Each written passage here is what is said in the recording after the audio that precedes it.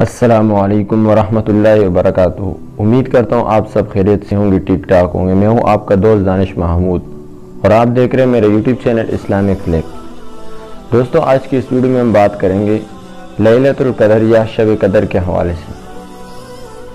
लैलतुल्कदर या शब कदर ये इस्लामी महीने रमज़ान के आखिरी आशरे की ताक रातों में से, यानी इक्कीसवीं तेईसवीं पच्चीसवीं सताईसवीं या उनतीसवीं में से किसी एक रात को कहा जाता है, जिसके बारे में कुरान में एक सूरत सूरत कदर के नाम से नाजिल हुई है। इस सूरत के अंदर अल्लाह ताला ने इस रात को हज़ार महीनों की इबादत से अफजल करार दे दिए इस हिसाब से एक रात की इबादत तिरासी साल चार महीने बनती है।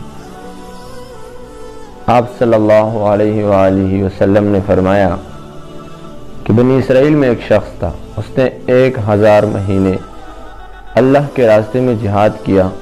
साहब कराम को बहुत ज़्यादा रश है तो अल्लाह ताला ने उसके बदले में ये ये रात अता फरमाई। बाज़ रात में आता है कि चूँकि इस उम्मत मोहम्मदिया की उम्र कम है तो आप सल्लल्लाहु अलैहि वसल्लम को बहुत रंज हुआ कि मेरी उम्मत की उम्र कम है तो बन इसराइल की उम्र ज़्यादा थी। अगर मेरी उम्मत नेक काम करना चाहे भी तो वो उनके बराबर नहीं हो सकती। ज़ाहिर है कि उनकी इबादत, उनकी उम्र बहुत ज़्यादा है तो उनकी बराबरी करना नेकी में नामुमकिन है। चुनाचा वसल्लम को इसका बहुत सदमा हुआ तो अल्लाह ताला ने इसके बदले में ये रात अता फरमाई। लेकिन दोस्तों याद रखें, इस रात भी चार लोगों की मगफरत नहीं होती। नंबर एक, शराब पीने वाला। नंबर दो, वालदेन का नाफरमान।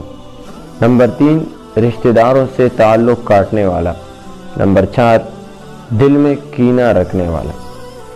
दोस्तों, इन चार लोग, ये ऐसे बदबक चार लोग हैं किस मुबारक रात में कि जिसमें अल्लाह ताला सबकी मगफरत फरमा देते हैं इस मुबारक रात में भी इनकी मगफरत नहीं होती। इसलिए, इस वीडियो को देखने के बाद अपना अंदाज़ा लगाएँ कि क्या हम इन चार लोगों में से तो नहीं हैं। शराब पीने वाला, वालदेन का नाफरमान,